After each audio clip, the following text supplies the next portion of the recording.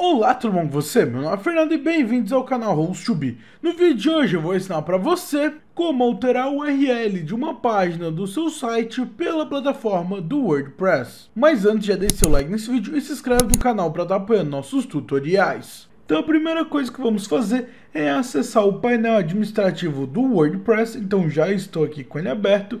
Em seguida nós iremos do lado esquerdo no menu lateral até a opção chamado páginas. Então basta clicar. Será então aberto a aba de páginas e aqui vai estar listado todas as páginas que você tem criados no seu site. E para você alterar o URL de uma página é muito simples. Vou dar aqui como exemplo a página chamada páginas de exemplo, que é o URL é meu domínio barra página traço de traço exemplo. E para alterar essa URL, o que nós vamos fazer é vir na página que desejamos alterar. Então vou utilizar aqui a página de exemplo e vou colocar o mouse em cima dela, vai aparecer um menu abaixo e vou clicar no botão edição rápida. Após clicar em edição rápida, vai abrir vários campos que podemos editar e o que nós vamos mexer é no campo chamado slug. Então o título você não precisa mexer, nós vamos mexer apenas no slug e o slug é o que fica depois do barra do seu domínio. Então aqui você pode colocar o nome que quiser. Eu vou alterar, por exemplo, de página de exemplo para apenas exemplo. Então para acessar vai ser domínio barra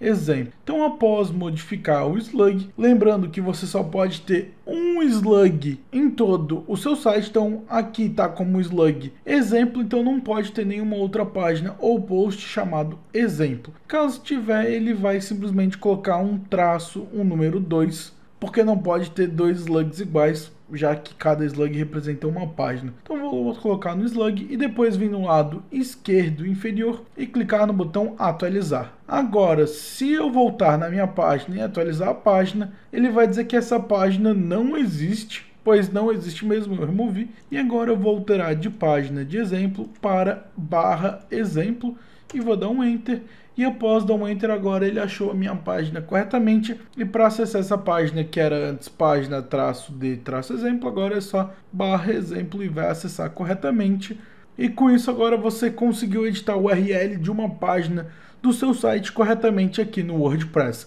Então eu espero que esse vídeo tenha ajudado, se lhe ajudou peço que por favor deixe seu like nesse vídeo e se inscreva no canal para estar apoiando nossos tutoriais.